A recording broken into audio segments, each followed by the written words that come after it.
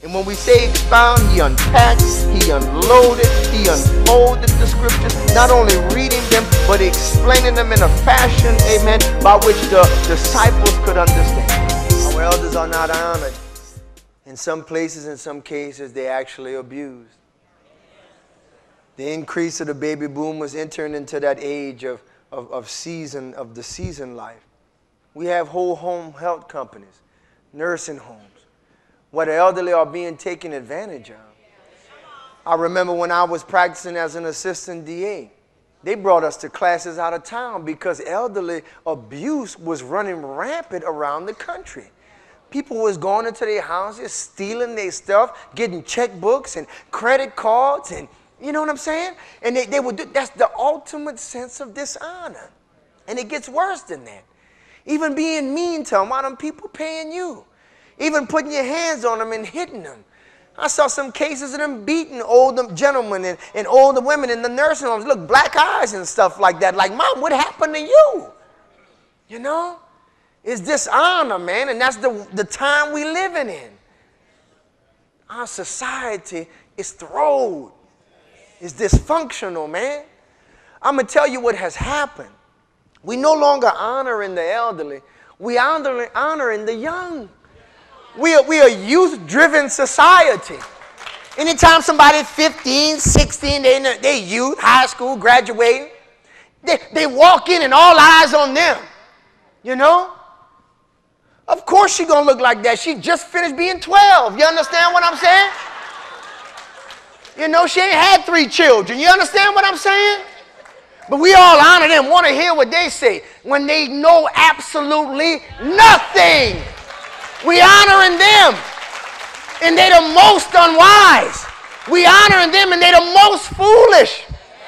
Going to them, the youth, just because they know how to act or shoot a basketball. Asking them how marriage should be. Should we accept homosexual marriage? You just made it to the NFL. Do you know? You don't know. You just know how to run and catch. But we honor them and give them a platform when the people who really know, sitting down there quiet, with all the wisdom and the knowledge and the know-how, 50 years, civil rights movement, Vietnam War, World War II, done been through it all, and we just sit there, not asking them. You see? It's the, it's, I'm telling you, man, it's the height of foolishness in our society is so bad is that we have placed upon uh, uh, every individual that somehow getting older is the enemy. Somehow, like life is over when we age. That's why you got some women, they 80, they 85, they, they, they, the hair is jet black like they 17. They dressing like they 20. You understand what I'm saying? Come on, home girl. Listen, it's gone. It's been gone. It's over. You got to find something else to find your reason, your purpose, your value in. You know? Come on, man. But it's the world we living in. We got the Ponce de Leon syndrome. We're looking for the fountain of youth and everything. We're looking to live forever. Learn how to thrive in every season. When you're young, thrive in being young. When you're middle aged, thrive and be in being middle aged. When you're older and you're in the season, thrive in that season. Just because society jacked up, messed up, throwed, don't mean we got to be throwed as well. Instead of dyeing that hair when it's, listen, and I'm not, nothing wrong with dyeing your hair. You know what I'm saying? You gray head and you're 25, go ahead put you some uh, dark and lovely in there, whatever that is. Ain't nothing wrong with no just for men. But there comes a time when you just gonna have to let it go. Let it go.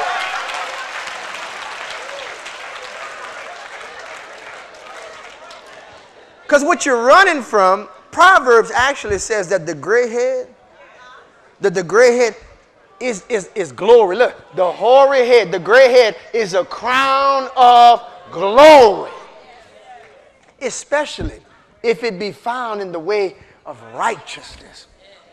When you find somebody older that's serving God, saved under the blood of Jesus. Not their own righteousness, but the righteousness of Christ. And listen, man. Whew, these are people that we can learn from, benefit from, be blessed by.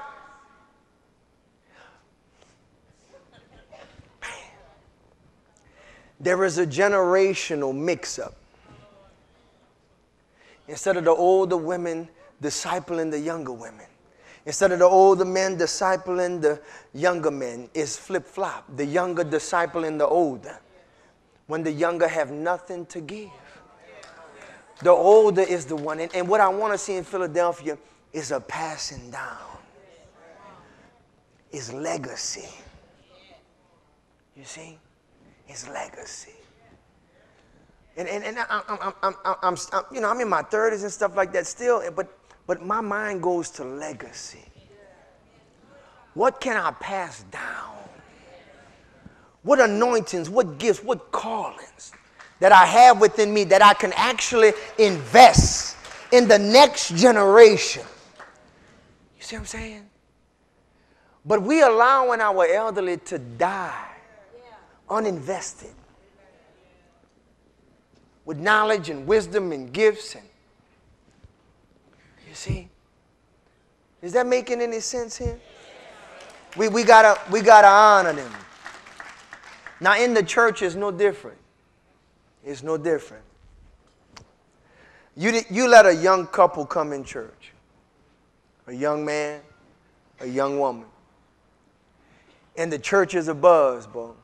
Oh, you saw that new couple, that new? We're going to ask them over to dinner.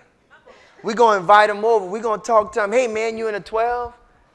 Hey, man, what church you come from, man? Hey, you want to go to men's meeting? Hey, we playing softball, man. You want to be a part of the softball team? Listen, the church is alive when the young come in. I wonder, I wonder, Philadelphia, if we act the same way when an elderly gentleman come through those doors. Somebody that's in their 60s or 70s. Somebody that might be in their 80s. They want the word of God too. They hungry for the presence of God. I wonder, Philadelphia, if when they come in and pastor say go shake somebody's hand or go hug somebody, how many hugs they get? How many invites they get? How many people saying, listen, are you in a 12? Because they still need a 12. I'm asking you, Philadelphia, are we partial? Just like our society that we living in. To the young. I'm wondering, Philadelphia, if we got elderly people sitting in here who have never been touched with our love, never been spoken to, as though somehow, just because they're gray headed, they don't need fellowship, they don't need love, they don't need compassion, they don't need a word. I want to tell you, Philadelphia, these folk need a word too, and may even need a word more, may even need a hug more. I'm pouring my heart out to you tonight, man. Man, I listen, listen, listen. Come on, man. Let me pastor you here for a second. We want to be a church for everybody, man every age thriving. That's how you have a healthy church, man. A booming Titus ministry, a booming youth ministry, a booming marriage ministry. Nobody feel left out. Come on, give God some glory for that.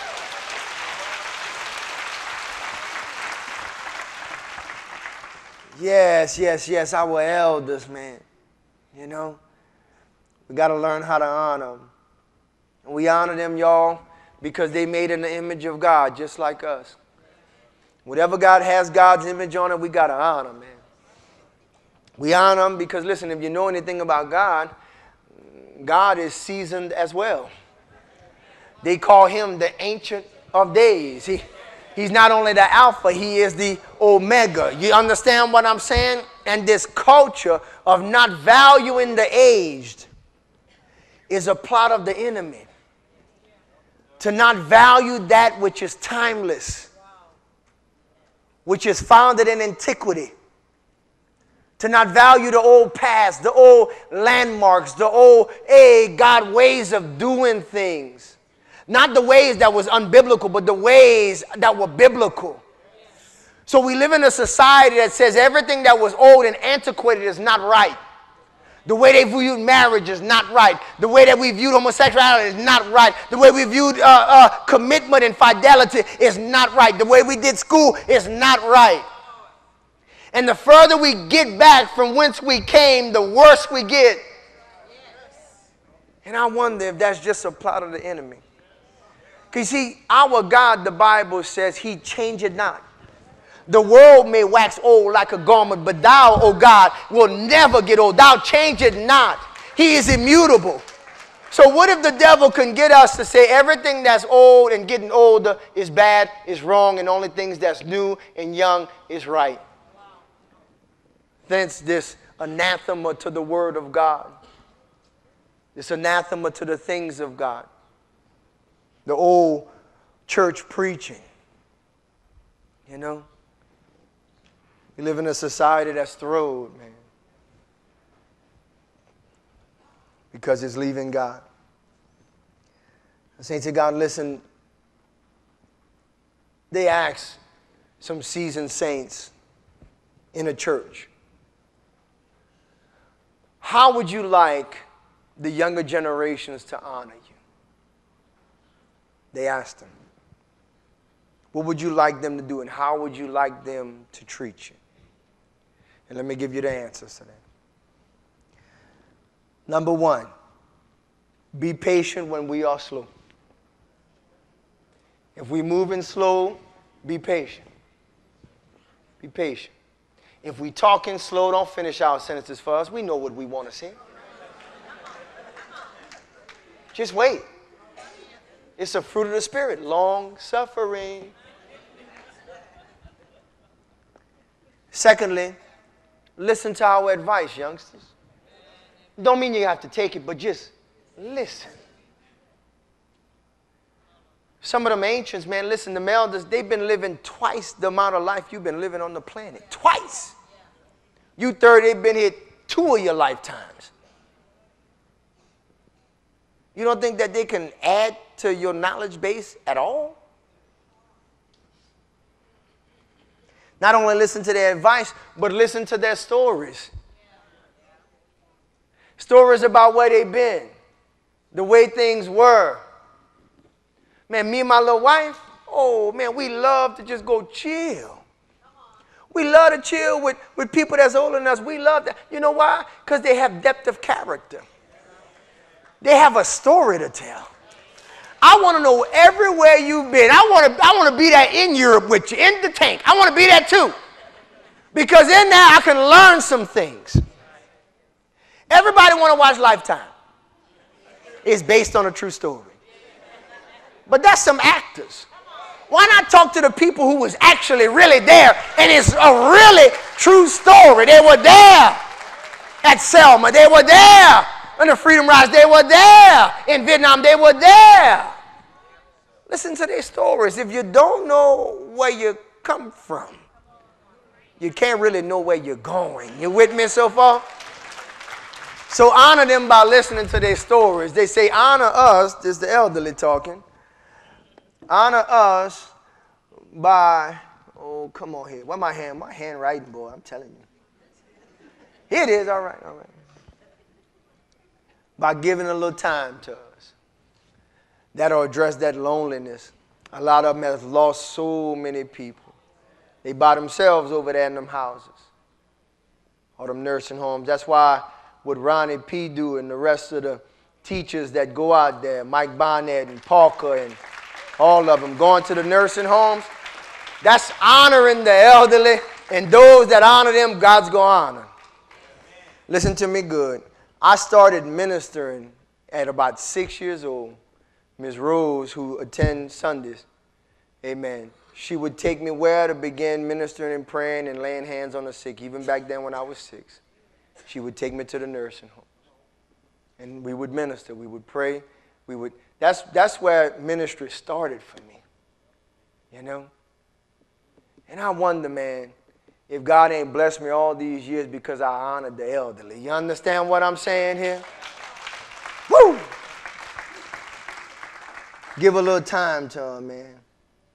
They say if you see us coming, hold the door open and just don't let it hit us. Mess around, break a hip, a shoulder, or something like that. Have some decency. You see?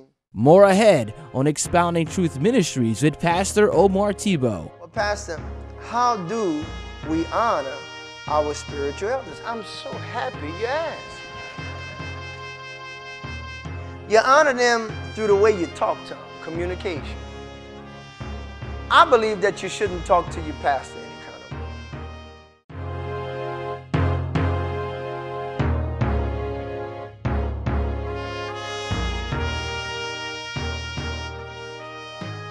Pastor Omar Tebow bringing you one of many updates on the Phase 2 project.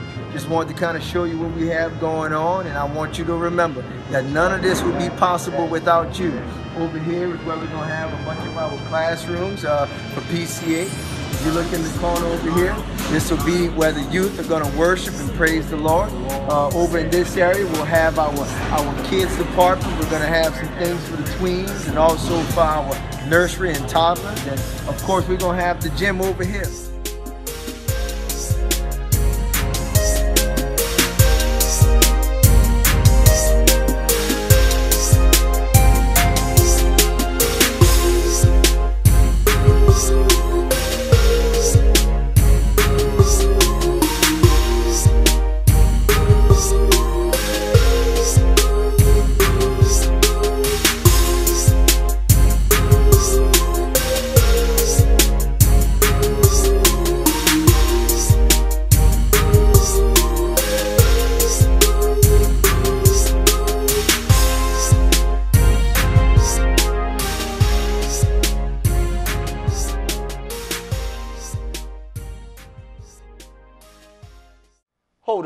Open and just don't let it hit us.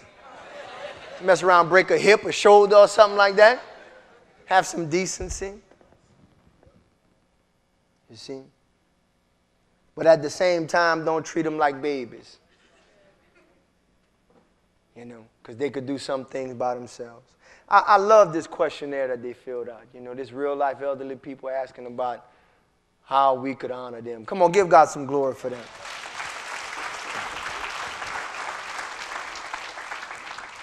All right, so we show honor to our parents, we show honor to our elders, and I want to deal with this one before we go. We show honor to spiritual elders as well. Spiritual elders as well. When I say spiritual elders, amen, I'm talking about pastors, I'm talking about first ladies, and, and uh, because they're elders in the church as well. I'm talking about ministers. Uh, like uh, uh, Brother Duck and, and uh, Brother Ant and Brother Phil. I'm talking about deacons, amen, like our deacons elect that's coming up and, and even Deacon Cardell. There is a certain honor that attaches with uh, the offices of the church, you see. Uh, in Philadelphia, if you are new to Christianity, that's not something that you're going to know. That's not something you're going to know. So, as I talk about this, this may be new territory for you, but I'm going to talk about it anyway. You with me so far? You have to learn how to show your spiritual elders honor. Now, I'm going to try my best not to talk about it from my perspective, you honoring me. I'm going to just talk about pastors need to be honored, all right? I'm going to try my best. I ain't nobody want to, I, I don't feel right doing that, all right? So the Bible says in, in 1 Timothy 5 and, and 17, it tells us, it says, let the elders that rule well be counted of what? Of double honor. Yeah, yeah, yeah, yeah, yeah, yeah. I'm, I'm kind of read it too fast. Thank you, Miss Shirley. Let the elders that rule well be counted worthy of what? Of double honor.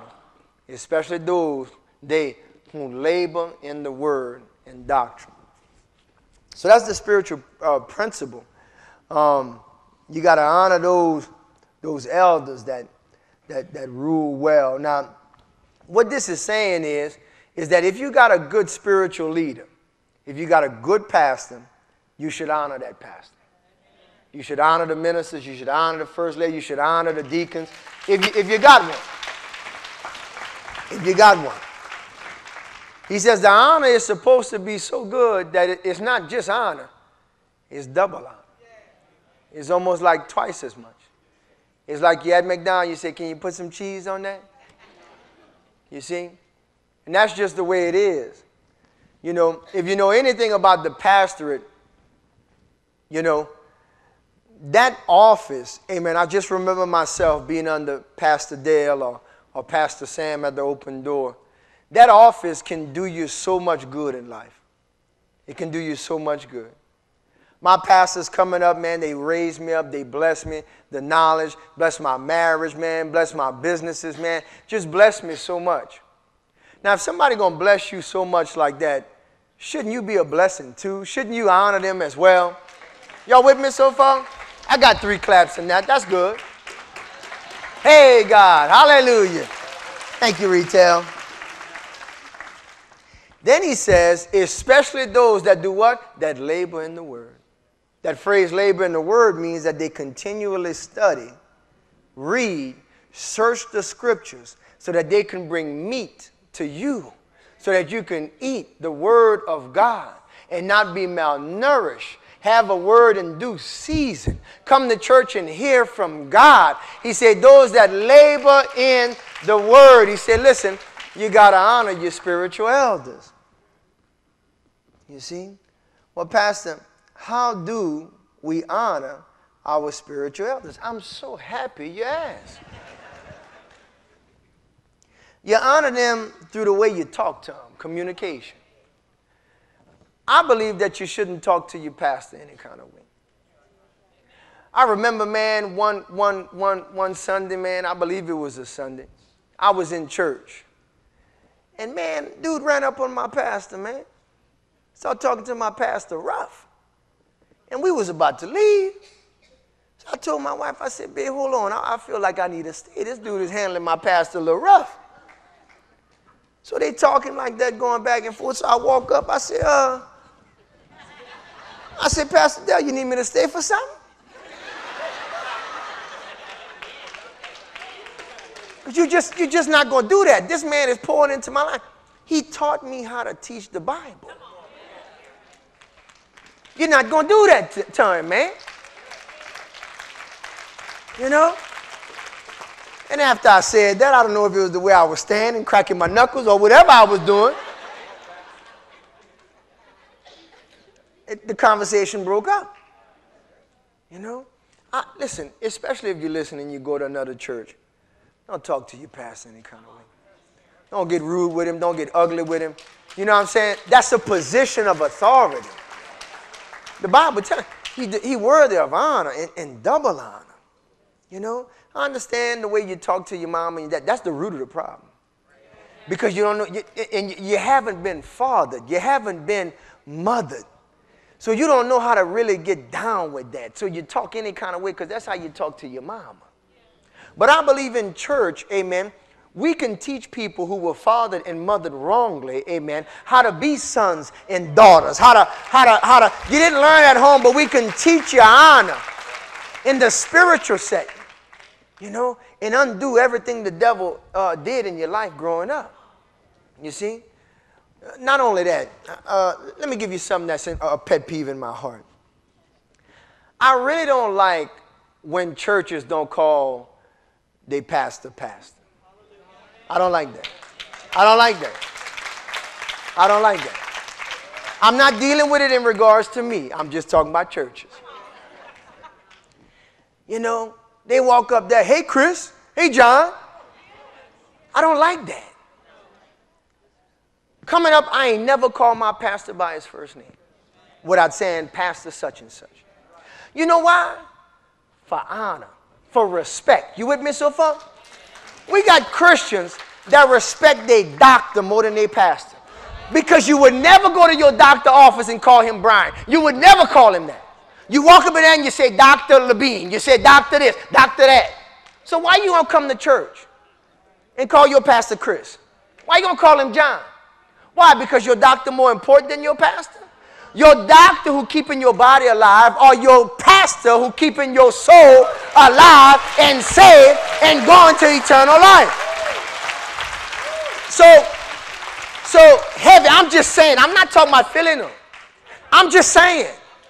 And we living in a day, a society of dishonor. Listen, it's common not to call them pastor. Even the ones you see on TV, they'll say Charles Stanley. They'll say this, that, David Jeremiah. They won't even call them pastor. It got to the point to where some of them rather be called doctor than pastor. And that's when you lose the scriptural significance of the position that we hold.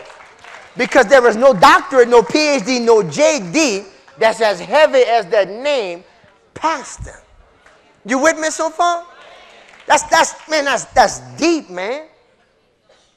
You know, we live in a society of dishonor. You know?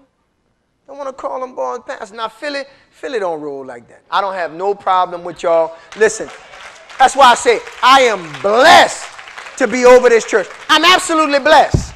Let me give you a couple of examples. We was in the prisons at Dixon, and they told us that it might not be good that everybody in the prison would know I was the pastor. Because usually the pastors don't go out there with the general population, but I like to rub elbows. I like to go out there and I like to be in there, you know what I'm saying? Sitting on their bed with them, talking to them. I want to witness. I want to play softball and everything. I want to do it. And so they said, well, okay, just don't, don't, y'all don't call him pastor. Don't call him pastor while he out here. Them boys had a problem with that. The men of Philadelphia struggled with calling me Omar. They struggled with calling me my first name. They would they, uh, they just gave up. By by the end of the ball game, every all of them knew I was the pastor. You understand what I'm saying? By the end of the ball game, everybody knew. They struggled with it, and I and I praise God for the honor that you showed me. I praise God for that. I'm the I'm the most blessed pastor in the United States. I really am. Hallelujah. Hallelujah. Hallelujah. Glory to God. Glory to God. I love y'all. I love y'all. Thank you, Lord. Thank you, Lord. They had one brother, man. They had one brother. He, uh, we was working something out, so he couldn't, he couldn't divulge that I was the pastor. You know, I, I, I had asked him to keep, you know, keep it cool. And, uh, and I called him while it was going on. And so he said, What's up, brother? That's what he said, you know. And uh, so I just keep talking because I am y'all brother. You know what I'm saying? It's all good. And, uh, and so, man, so we hung up the phone. He, he, he, he met me. And he, he, he come up to me and he say, he said, I'm so sorry, Pastor. I said, for what, man? He said, man, I didn't call you pastor, man. I, I, I, man, I'm sorry for that, man. I didn't mean no disrespect. And, and, and it, just, it just touched me so deep, man. You know? And the brother was actually only doing what I asked him to do, just to keep it down, you know? And that's just two examples. I'm telling you, I'm blessed over here. I'm blessed over here. You know what I'm saying? All right, let me give you some others. We got to finish this third point, y'all, so just give me a Honor your spiritual. Let me show you another. Uh, go back to 17. Now, if you